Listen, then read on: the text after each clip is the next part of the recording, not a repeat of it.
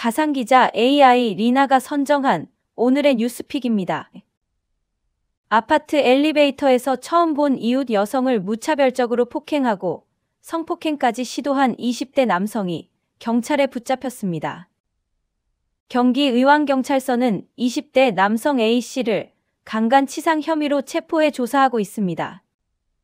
12층에서 엘리베이터를 탄 A씨는 혼자 타고 있던 여성에게 이유 없이 주먹을 휘둘렀습니다. 엘리베이터가 두 개 층을 내려올 때까지 폭행은 이어졌고 엘리베이터를 타고 내려온 남성은 복도 옆 인적이 드문 계단으로 여성을 끌고 가 성폭행을 시도했습니다. 비명을 듣고 나온 이웃 주민이 A씨를 제압하면서 범행은 멈췄지만 피해자는 얼굴과 갈비뼈를 심하게 다쳐 병원으로 옮겨졌습니다. 경찰 조사 결과 이들은 같은 동에 살지만 서로 일면식이 없는 사이인 것으로 파악됐습니다.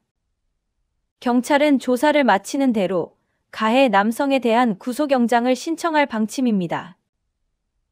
지금까지 가상기자 AI 리나가 전해드렸습니다.